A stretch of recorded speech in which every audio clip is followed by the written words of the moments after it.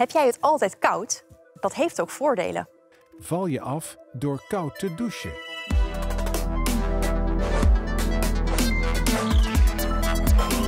Dit is de Universiteit van Nederland.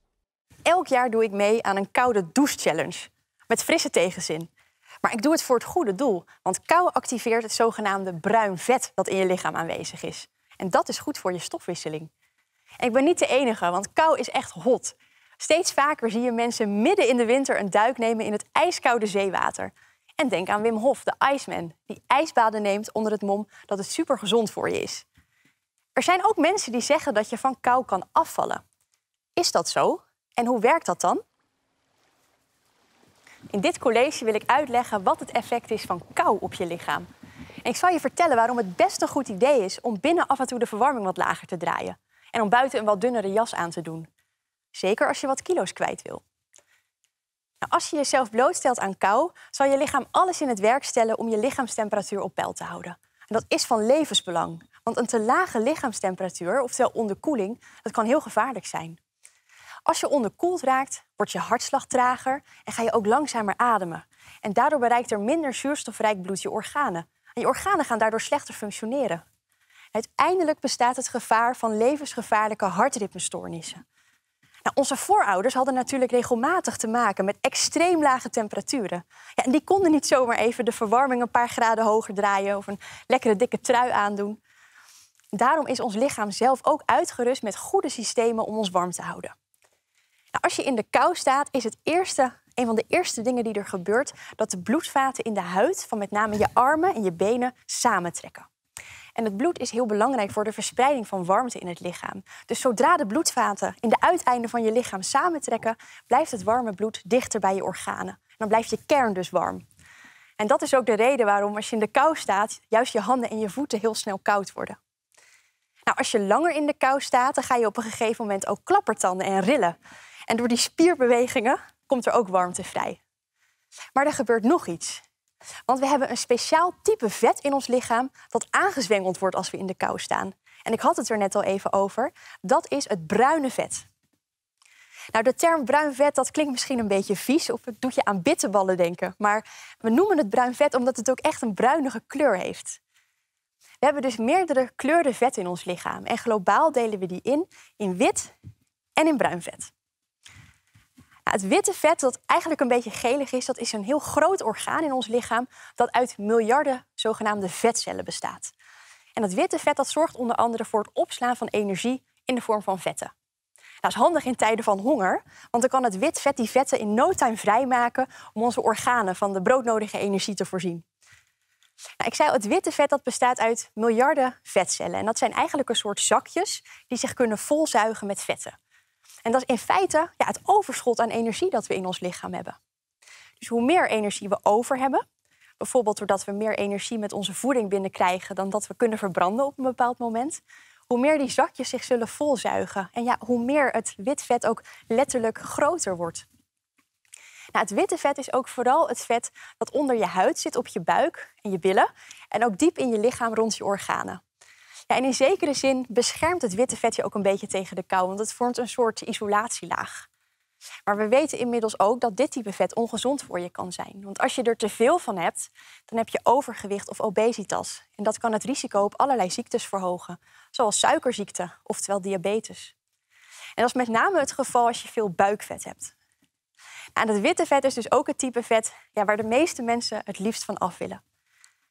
Het bruine vet dat werkt heel anders. Ik zei al, het witte vet dat bestaat uit een vetcel. En daar zit een heel, hele grote vetdruppel eigenlijk in. Het bruine vet, daar bestaan de vetcellen juist uit heel veel kleine vetdruppeltjes. En die staan ook maar een heel klein beetje vet op. Want het bruin vet, dat verbrandt juist vetten. En die vetten worden dan vervolgens omgezet in warmte. Dus je kan het bruin vet eigenlijk zien als een soort lichaams-eigen warmtekachel. En ja, we beschouwen dat dan ook als ons goede vet. Nou, bruin vet is heel belangrijk in baby's. Baby's hebben namelijk een groot hoofd ten opzichte van de rest van hun lichaam. En die kunnen daar heel veel warmte uit verliezen.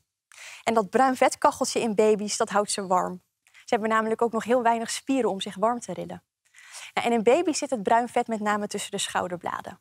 Maar met het ouder worden, dan zie je dat we steeds meer van dit bruine vet verliezen. Maar ook in volwassenen is nog een beetje bruin vet aanwezig. En in volwassenen zit het met name in de nek en voor de ruggenwervels langs de grote bloedvaten. En dat is wel een hele slimme plek, want dan kan de warmte die gemaakt wordt door het bruine vet direct aan het bloed worden afgegeven en zo verspreid worden door het lichaam. Ja, en zo houden we dus ook onze kern warm. Nou, bruin vet wordt dus aangezet als je blootgesteld wordt aan kou. Nou, en dat gaat als volgt. De kou die geeft via je huid een signaaltje naar je hersenen. En vanuit de hersenen gaan vervolgens allerlei zenuwen naar het bruin vet. En die geven allemaal kleine pulsjes af. En dat gebeurt razendsnel, moet je je voorstellen. Echt binnen enkele minuten. Nou, en in bruin vet worden vervolgens speciale energiefabriekjes aangezet.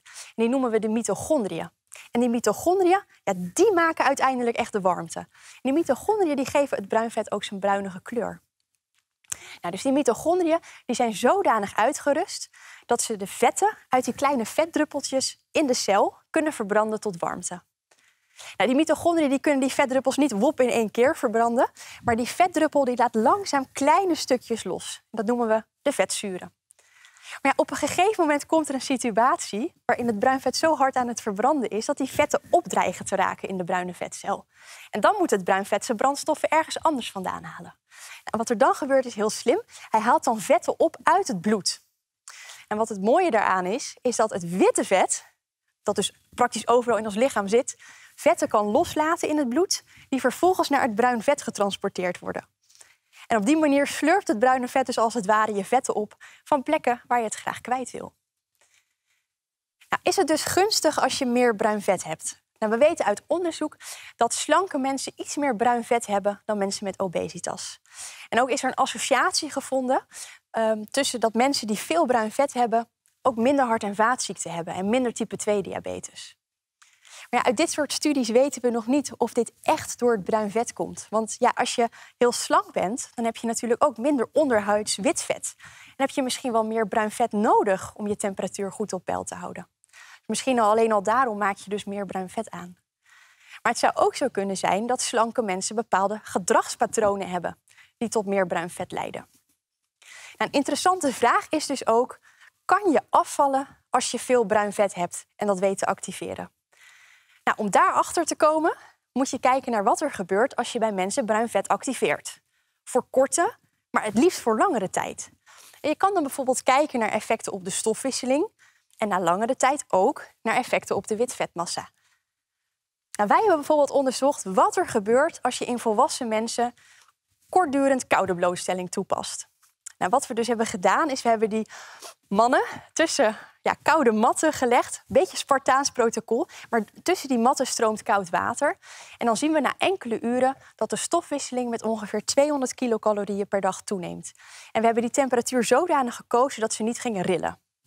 En die 200 kilocalorie, dat is ongeveer het equivalent van een Mars. Nou, zet dat nu een beetje zoden aan de dijk. Nou ja, als je elke dag een Mars extra verbrandt, heeft dat natuurlijk op de lange termijn wel wat effect. Maar je moet er wel een beetje geduld voor hebben. Je zou er ongeveer 6 à 7 kilo per jaar mee kunnen verliezen. Nou, we weten ook dat als je zes weken lang, twee uur per dag, de verwarming naar 15 graden zet, dat dit bij gezonde mannen leidt tot een gewichtsverlies van 0,7 kilo. Met behoud van spiermassa. Dus dat is een gezonde manier van afvallen. In patiënten met type 2 diabetes had kou spectaculair gunstige effecten. Er is een studie gedaan waarin uh, die patiënten voor 10 dagen, 6 uur per dag in een kamer moesten doorbrengen van ongeveer 16 graden. En wat er toen werd gezien is dat hun suikerstofwisseling fors verbeterde. En ja, de suikerstofwisseling, dat is normaal iets waar mensen met diabetes juist veel problemen mee hebben. Nou, die gunstige effecten van kou op bijvoorbeeld de suikerstofwisseling komt waarschijnlijk zeker niet alleen door activatie van het bruin vet. Wat kou namelijk extra gunstig maakt, is dat het ook grote effecten heeft op bijvoorbeeld de spieren. Je kan je daar wel iets bij voorstellen, want ja, als het zodanig koud is dat je ook gaat rillen, dan zorgen je spieren voor ja, extra activiteit. Je lichaam is dan extra in beweging. En bovendien hebben we ook heel veel spieren in ons lichaam.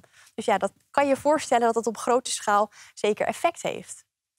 Nou, verder is het zo dat zowel het bruin vet als je spieren ehm, niet alleen vetten uit het bloed opnemen, maar ook suikers kunnen opnemen en die kunnen verbranden. En dat is in geval van diabetes natuurlijk extra mooi meegenomen. Een andere mooie bijkomstigheid is dat kou, ja, die doet ook iets met je mindset. En ik denk dat iedereen die wel eens een koude douche heeft genomen of in een ijsbad heeft gezeten, dat wel zal herkennen. Want je trotseert iets heftigs. Dat doet iets met je. En ook maak je door kou meer endorfines aan, waardoor je je happier voelt. Nou, hoe kan je je bruin vet nu het beste activeren? Het is belangrijk om je te realiseren dat het zowel gunstig is om het bruin vet dat je al hebt harder aan te zetten, maar ook om ervoor te zorgen dat je meer bruin vet gaat aanmaken. Het blijkt bijvoorbeeld dat er in ons witte vet speciale cellen zitten die in reactie op de juiste prikkel kunnen omvormen ja, tot een soort bruine vetcellen. En we noemen dat beige vetcellen, omdat ze een beetje tussen wit en bruin vet in zitten qua eigenschappen. Dus die beige vetcellen die hebben net wat meer uh, vetdruppeltjes dan witte vetcellen en ook wat meer mitochondriën. Maar wat zo gunstig is aan die beige vetcellen, is dat ze ook vetten kunnen verbranden tot warmte. En dat vind ik zelf heel fascinerend, want we hebben wat ik al zei, miljarden witte vetcellen. En als je daar op de een of andere manier een fractie van zou kunnen omzetten tot beige vet, dan heb je dubbel winst. Je hebt en minder witte vetcellen en meer beige vet om vervolgens nog meer vetten te gaan verbranden. Nou, de eerste manier om je bruin vet te activeren, en dat zal je niet meer verbazen naar wat ik net verteld heb, is regelmatig de kou opzoeken. Dus bijvoorbeeld enkele uren per dag de thermostaat in je huis lager zetten. Je kan ook regelmatig een ijsbad nemen of koud afdouchen.